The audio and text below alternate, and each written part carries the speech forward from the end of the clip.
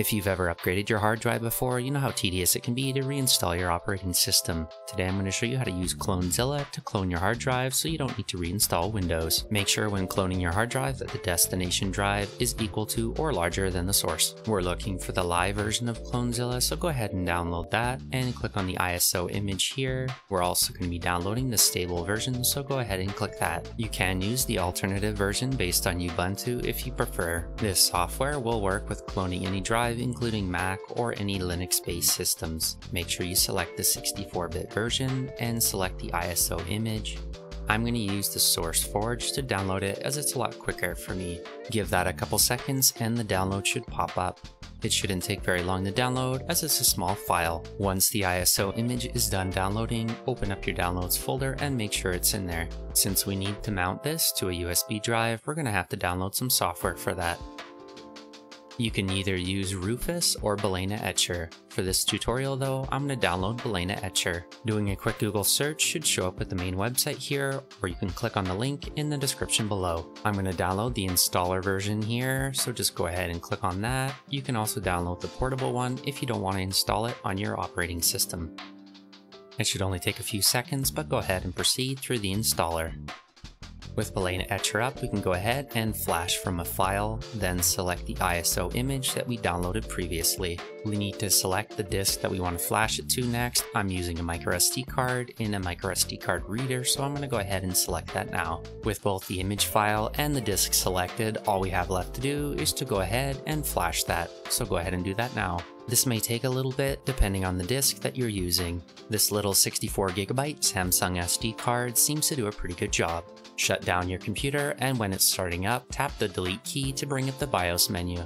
Your BIOS might look a little different than mine, but just head over to the boot menu and make sure that that USB drive that we flashed the image to is set as the boot option number one. Make sure to save and exit your BIOS. Mine is F4, but yours might be slightly different. The computer will then proceed to shut down and restart, booting into the USB drive that we just created.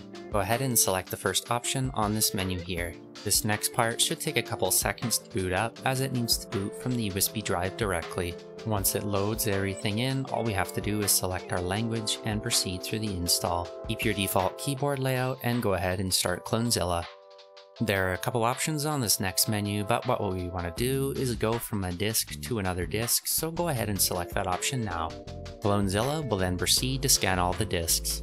Make absolutely sure that you're selecting the correct disks when we go through this menu here. Go ahead and select the beginner mode.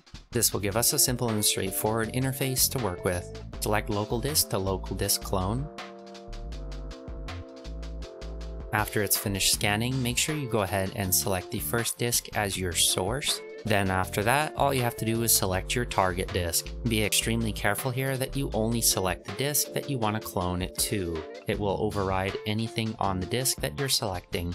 If your computer or your disk has been a little wonky, you might want to go ahead and select auto here as it'll try to repair it before cloning.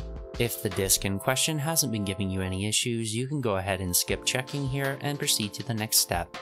Use the partition table from the source disk to get a one-to-one -one copy of the original. If you're cloning your operating system disk, go ahead and select the option to shut down after it's finished so you can swap the disk out with your new one. Press enter to continue and it'll go ahead with one final prompt if you want to go ahead and clone the disk. Say yes to both of the prompts and it'll proceed to finally cloning your two disks. Depending on the source and the target disk, this can take quite a while depending on how much data it has to sort through and what type of drive you're using. I'm cloning between an NVMe to another NVMe, so this is a really quick clone, but it can take a little while as mentioned depending on what kind of drives you're cloning. Make sure to use the fastest connections available when you're cloning your drives so it doesn't take as long. If you want to upgrade any of your disks to a larger one, this is a great way to do that as you won't lose your data when using this. Let's hop over to Windows next and see how that disk cloned.